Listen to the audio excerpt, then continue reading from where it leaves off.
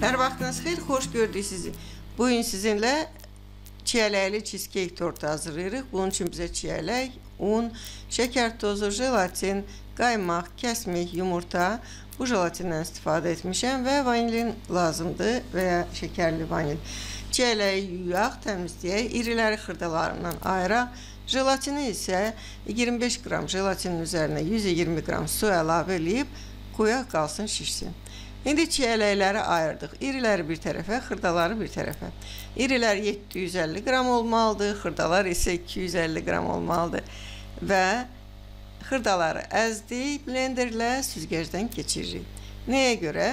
Keçiririk ki, içinin e, üzərində, çiyələrin üzərində olan tumlar bizə narahatçılıq verməsin. Bu qədər tum ayrıldı. Onu tullayırıq. O da hardasa bir 50 qram idi.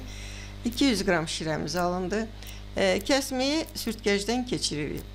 Ümumiyyətlə bu reseptdə krem pendirdən istifadə edilir. Mən büdcət variantını elədim. Yəni ki, hamının gücü çatsın və bura indi e, qaymağı da əlavə elədim. Sürtkəcdən keçirdiyimin e, üzərinə yaxşıca qarışdırdım.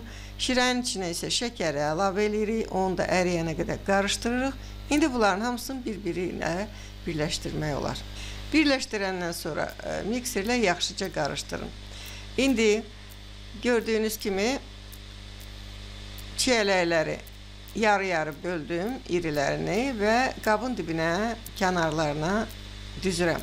Səliqə ilə. Bura isə jelatini qızdırdım, əridi tamamilə və onu da süzgəcdən keçirərək əlavə eləyirəm həmin o çiyələk, kəsmik və ya krem pendir, krem, yəni qaymaq, jelatin hamısı bir yerdə qarışır və bir 5 dəqiqə qoyun qalsın, elə bil ki, özünü tutsun. Daha sonra yavaş-yavaş e, boşaldın çiyələklərinizin üzərinə. Qaşıq altdan qoyuram ki, o birinci e, çiyələkləri o itələyib o yan yana itələməsin. Xəmirini hazırlayaq.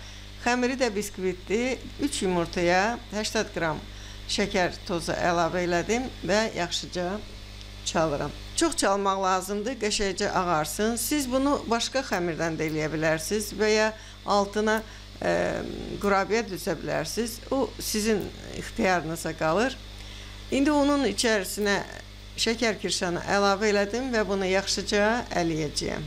Ələkdən keçirdik və bir balaca mikserlə mikseri işə salmamış qarışdırıram. Daha sonra elə bil ki 1 2 3 deyib dayanıram mikseri işlədəndə.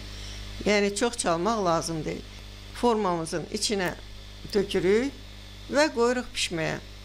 Mən 180 dərəcədə 20 18 dəqiqə bişdi. Baxın belə oldu. Hərənin sobası ayrı-ayrı işləyir. Ona görə dəqiq sizə deyə bilmərəm ki, bu qədər saxlayın. Baxın, içi tamamilə bişsin. Çıxardım. İndi bu tam soymalıdır. O soyunca bizim qarışığımız da soyuducuda dincəlirdi. Deməli buna heç olmasa e, bir e, bir saata yaxın vaxt getdi və indi biskviti yerləşdirirəm bu tortumuzun elə bil ki içinə.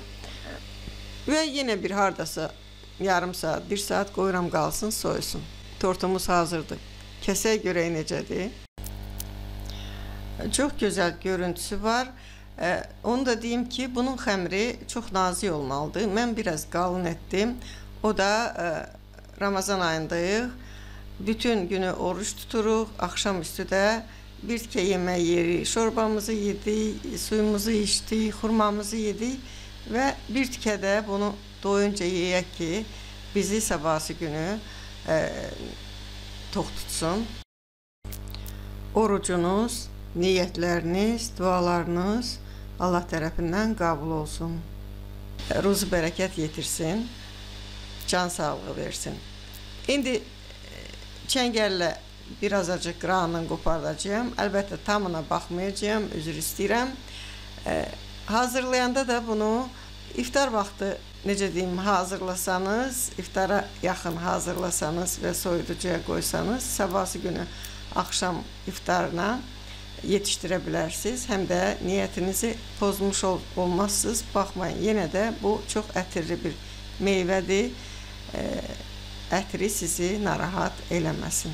Baxın, belə gözəl görüntüsü var. Bu üst hissəsi, bu da xəmiri tamamilə içərdən bişib, yup-yumuşaq.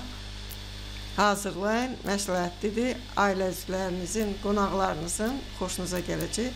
Hələlik isə sizlə xudafizləşirəm. paylaşın, like edin, abone olun ve yine de gelin.